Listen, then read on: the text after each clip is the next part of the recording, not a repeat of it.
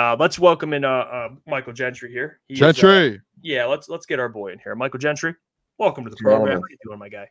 Beautiful hat. Oh, thanks, Boone. As always, you know I'm rocking the hat. But it's been a great day, boys. Obviously, uh, these guys made some moves, so you know we love it. It's been a great day. Go. How are the boys? Yeah, Stevie. Hey, they were. You know, some people were trolling Stevie. Made made a couple little signings the last couple days, and people were like, "Really? You know, what are we doing here?" And then he drops the bomb. Vladimir uh, Tarasenko just signs him to what a two year deal. Um, yeah. And this is a guy who's in six seasons in his career has had 30 plus goals. What what are the Red Wings getting in Vladimir Tarasenko? I know he played well in the playoffs last year, but can you can you go through and, and talk about what he provides for this team? Well, obviously, two-time Stanley Cup champ winner, and he, he's replacing David Perron in that top six. And you're obviously going to get way more production out of him offensively not so much on the defensive side, but to get him two years, 4.75. And obviously, you dished off Robbie Fabbri to make some extra cap for that. And hopefully, another move for that right handed D man. But man, it, it's a great move. That That's going to benefit in multiple areas. His goal scoring, it's going to add a whole nother level to this team. And then, you know, power play one, power play two, wherever they decide to toss him, it's just going to be an extra boost there. So, this is kind of the ideal signing that you wanted as a Red Wings fan. You know, you get Tarasenko, a great goal scorer to add to your top six on a reasonable contract for two years. You didn't have to go out and spend eight million on Stamkos. You didn't have to go out and overpay anyone else.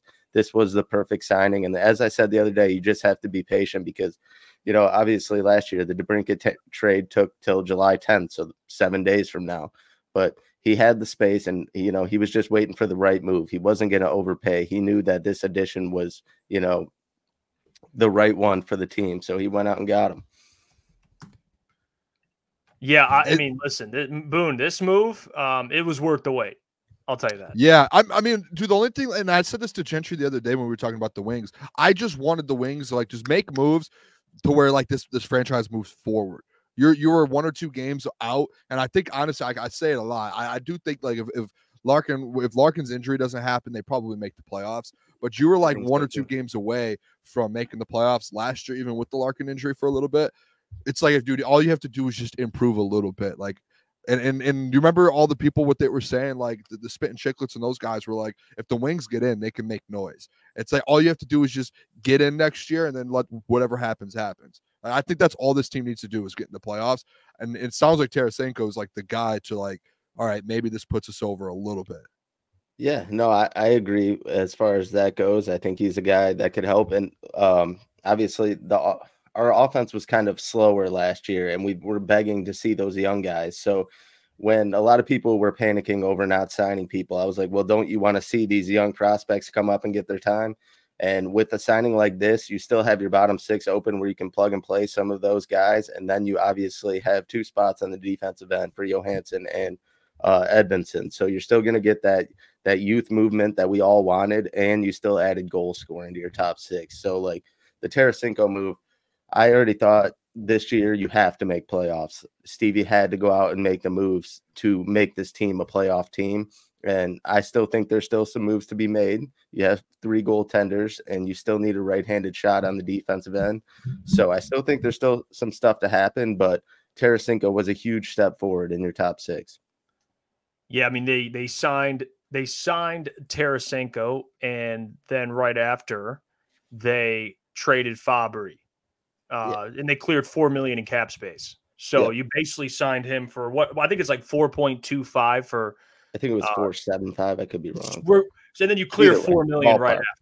Um, so uh, I mean, from Stevie, Steve, his perspective, still like you said, more moves to be made I see Pistons there... with Patrick Kane. Yeah, they played together. What with the Rangers? Yes, for like a year, something like that. Yeah, and Patrick Kane wasn't fully healthy when he played for the Rangers. So like him getting, we seen what he did last year when you know that that surgery he had is not an easy surgery for him to come back from. Still was a point per game guy. Now he has a whole off season to keep working at it, and then you know he's got training camp with the Wings. So I think you know it, it's it's going to be a great time for you know those two getting back together on the ice, healthy. So, yeah. Uh, is there are they going to make another massive move? Like, is there another big time player that will get added in a trade, or is it just kind um, of like now it's just depth? Um, I would say, you know, I think one of those goaltenders will be offloaded. I, I just don't see them starting with three. And Husso's battled so many injuries. Cam Talbot was kind of an insurance signing, and he played very well for the Kings last year. You know, didn't play so well in the playoffs. But I think no matter what, you have to go add a top four right-handed defenseman. You have a lot of guys that you can punch in on the third line as far as your D pairs go, but you need another guy in that off uh, or that top pairs that that would be my thing. A right-handed defenseman. I know there's a couple guys out there, but I don't know if it's going to be via trade, if they have to offload some more cap to kind of get that situation right with whoever they're looking for, but definitely a right-handed defenseman. What do you think about this comment? Diggity says ninth best offense, 25th best defense. Why is everyone talking about scoring? Yeah, I, I, mean, I agree with that to a certain extent, but I think you know the, the younger forwards will kind of help out that group and balance the offense throughout four lines, and then your top six got better. So you got to always kind of talk about your offense and uh, the defense. I think you know people are kind of sleeping on the Edvinsson, the Johanssons a little bit. People were pushing to kind of get these guys in the lineup last year, and now that their time's finally here, we're kind of scared to watch them take that step. But I think those guys will help that. And like I said, um, they're going to add a right-handed defenseman to go in that top four D corps, 100%. Yeah, that um, I will say it was worth the wait. All right, well, I know we were we were coming at Stevie a little bit, not in joking matter, but hey, Gentry likes it, we like it.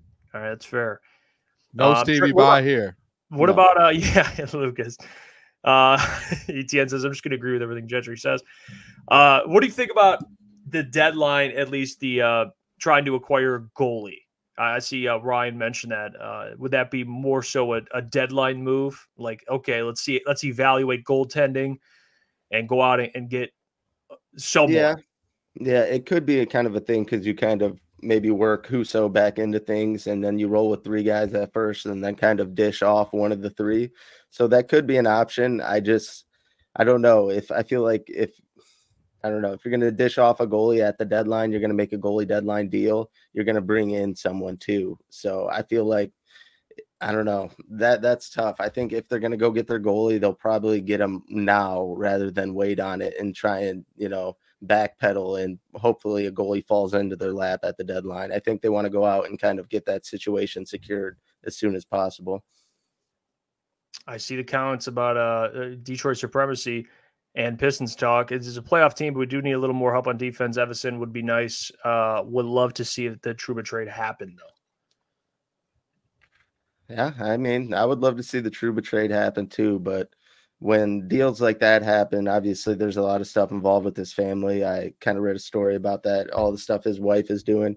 So it's it's more than you know just him wanting to get traded here. He's leaving actual situation behind in New York, and but he's a great player. I think there would have to be a lot of money taken out or retained rather from New York, and uh, you would maybe even have to dish off one of your defensemen. But one of those bottom guys, I'm sure Red Wings fans are totally fine with dealing off. So I would love the Trouba trade. I don't know if uh, that's going to be the move, like I said, because you have to do a lot of things with his contract. I don't think they're going to take that big contract on. So mm-hmm. uh, I think I would maybe lower the bar a little bit now, especially given that situation and everything that we've heard, you know, come out about Jacob Trouba. So yeah, that's I fair. think they're maybe lower the bar. There's still a good defenseman coming. Just like I said a couple days ago, don't panic. This forward signing was coming.